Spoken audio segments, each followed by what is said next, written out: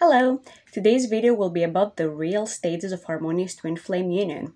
This video is meant to be an introduction of those stages with a brief description that I will give to you, but I'm planning on making uh, one video for each individual stage.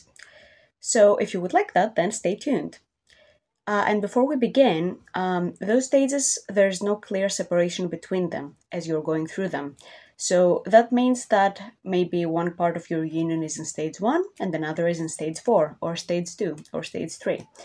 And those can coexist at the same time. It's different areas of your union that are in a different stage, and that's okay.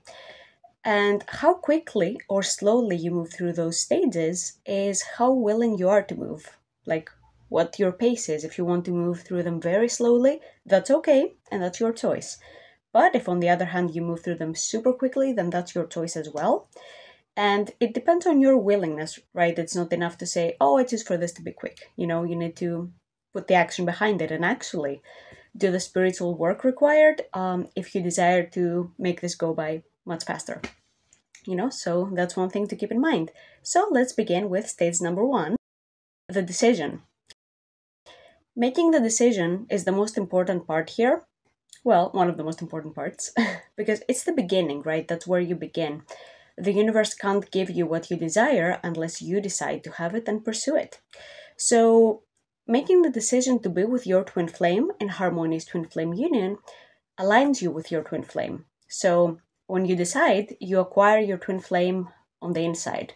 Like you already feel your union. When you say, like, I choose to have my twin flame in harmonious twin flame union, when you say that from the center of your heart, you can feel like you can feel the energy there. It's quite powerful, right? It feels peaceful, it feels loving. And in that instant, you acquire your twin flame, even if the outside might not reflect that. I remember when I made that choice, like um, in a more grounded and powerful way than ever before, I was still with my false twin flame without knowing.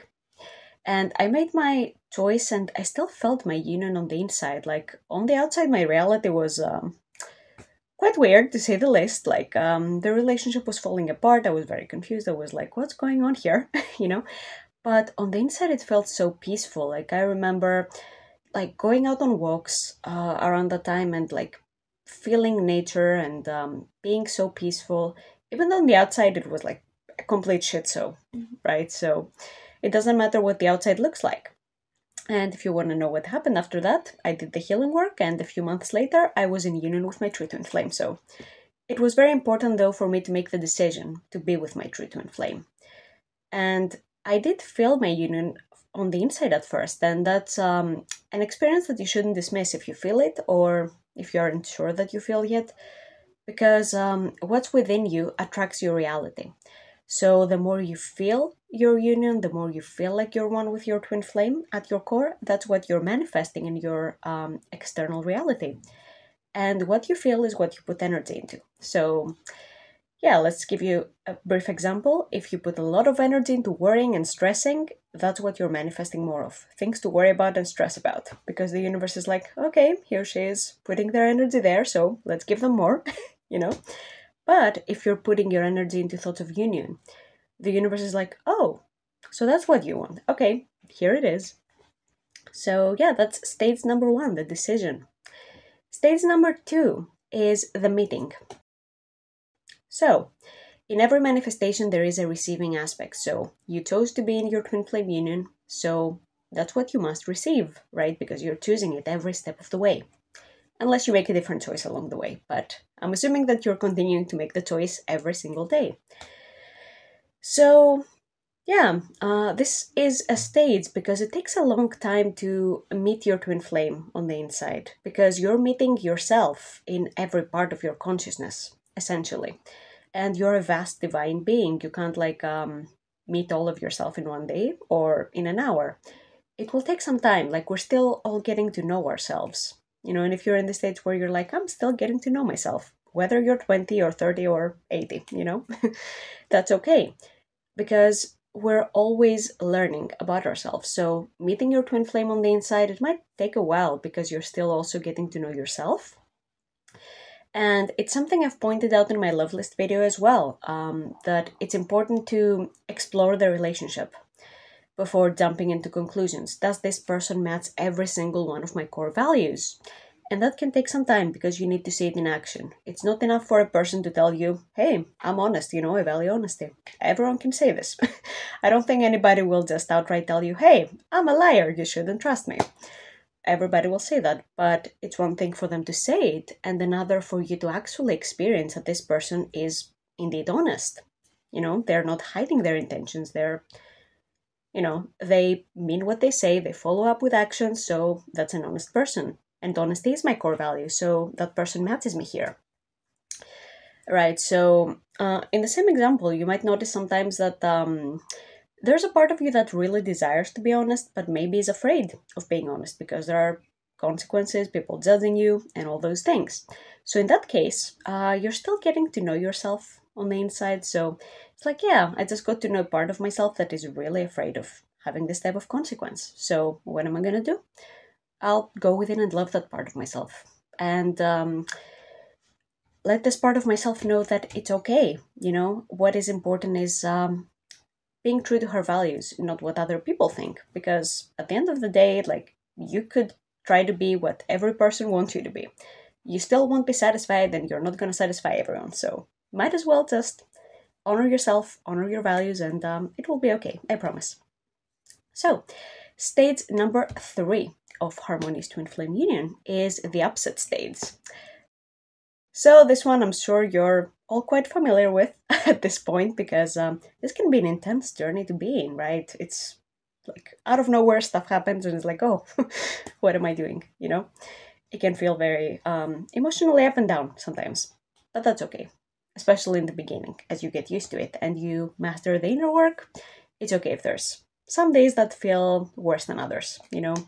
And it's okay to have upsets on your journey, absolutely. Like, um, let's not turn this into toxic positivity. Like, you need to smile all day, every day, and everything's okay when it's not okay.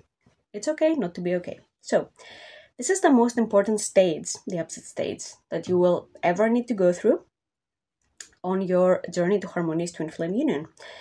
And that's where a lot of twin flames give up on their journey. Even though like they can have their harmonious twin flame union, they're like, oh, that's too much. I don't want to do this. So they settle instead.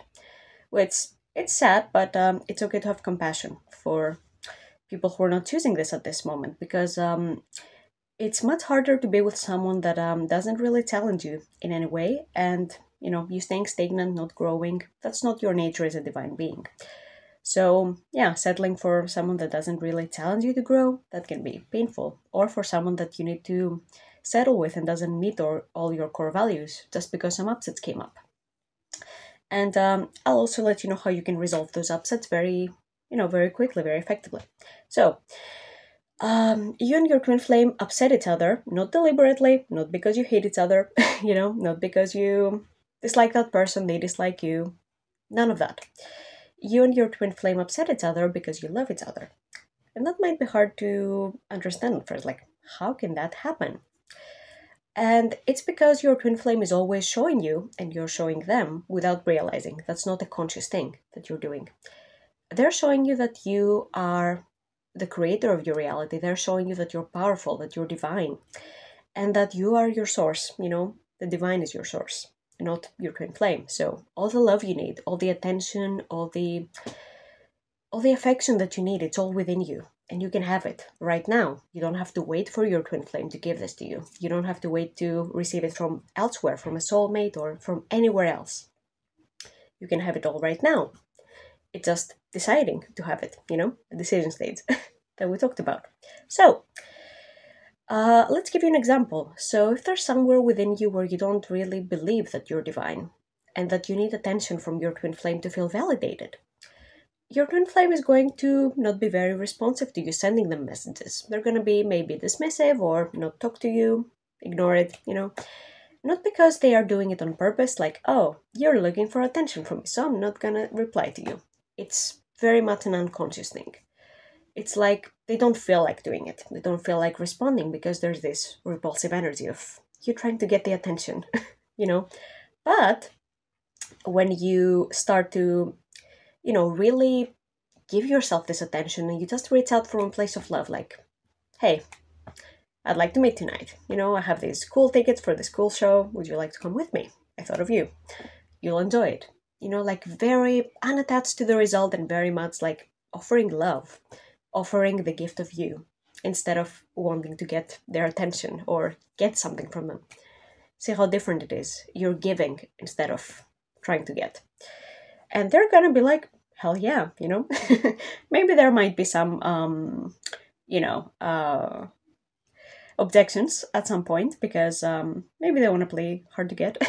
you know, that can happen, but um, that's okay because when you're confident, eventually uh, they will melt in the love that you offer. And you can definitely make it work because they're your twin flame. So, how could they not um, accept your offer of love? And when I say playing hard to get, I don't mean it in the sense that they're playing games necessarily, but in the sense that they've been hurt there before, so they might be hesitant to accept it. You know, so that is something that can happen. Having compassion for your twin flame is very important here. So, yeah, that's pretty much the opposite states. Like, there's somewhere where your twin flame is holding a vibration of love, but if you're not holding that for yourself in your own vibration, then you're going to experience that upset in yourself in that area. So when you do that, it's your responsibility to go within and love this part of yourself fully and hold that vibration of love so that you can match and there's no upset here anymore. So in that case, when we spoke about the attention thing, um, you give yourself this attention daily. You give yourself this love all the time. You know, loving yourself is a full time job and it's very rewarding because who would you rather give this love to if not yourself? Who is more worthy of your love than you are? Yeah, that feels very good to just say, like, you're worthy of your love. Feels so good because it's true, you know, divine truth always feels good in your heart when you speak it out loud or think about it. So, yeah, it's important for you to be take responsibility for your feelings and that way your twin flame will also take responsibility for theirs so if you feel like you've been doing all the spiritual work in your union, that's part of it, you know, because um, you don't have to take on what your twin flame uh, has. You only need to take on your part of the burden. It's not a burden, but your share of it, right? So if you feel a certain way by them doing something, if you feel upset, then that's your responsibility. If you don't feel upset, it's not up to you. You just surrender, hold space for them, and let them heal it, you know? And there's a lot of balance here you don't need to take on more than more than is for you. You know that's um, especially important to remember. So yeah if you aren't sure how to deal with the upset states then i highly recommend using uh, a healing tool specifically designed for twin flames to help you go through that because that's very important. It's just misalignments that um, you just require to make a different choice there. That's it in the upset states so in that case i recommend the mirror exercise it's linked below in the next steps so you can um, do that. I it's the one it's a tool I've been using, so for me it has worked wonders. So that's why I recommend it. And if you aren't sure how to apply it, then feel free to reach out to me. I have my contact info below and we can talk about it. I can help you with it. So don't be afraid to reach out. Good, so let's go to states number four, the final twin flame union states, which is unconditional love. And unconditional love is the result of deciding that you desire to be in your harmonious twin flame union, the result of working through misalignments that come up, so the upset states, and then receiving the fruits of removing those obstacles. And yeah, if there are no obstacles, then you can experience divine love rushing in every area of your union. So that's very important. The unconditional love is a result. It's not somewhere um, you'll be everywhere in your union when you first meet, and that's okay. That's normal. You're on planet Earth, you know, I'm assuming if you're watching this, most likely. So, this planet is very much steeped in separation consciousness. So, of course, there won't be like, there will be places in your consciousness where you still are not in unconditional love, and that's okay. It's okay to recognize that and honor where you are and keep working towards that result because there is no way you won't receive unconditional love from both yourself and your twin flame as you do the work and as you take the steps to heal those upsets and to decide to be with your twin flame. You know, that's um, a tried and true process that is in place for that.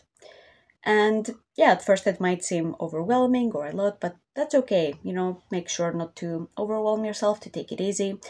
And as you increase your mastery in healing those upsets and doing your inner work, then the easier it will be to experience this unconditional love and to experience all of this beauty and to, you know, do the inner work and heal bigger upsets.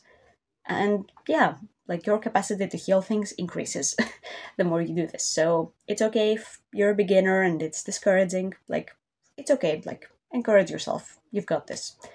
You know, even completing one small mirror exercise, that's much better than doing nothing. And like a few small ones, like you can build a foundation from those. We all begun there. So, yeah, that's important to keep in mind. It's okay to take baby steps at first and um, to trust that you will arrive where you desire you will arrive. The universe is on your side, God, our creator, is on your side. So, yeah, that's um, it's got nothing to do with luck. It's all about decision, working through things, and um, being persistent and committed to having the love that you desire. So, these were the four stages of harmonious twin flame union. I'm so grateful to have offered you this message today, and I'm so grateful that you chose to watch my video. I'm wishing you an amazing rest of your day. Bye bye.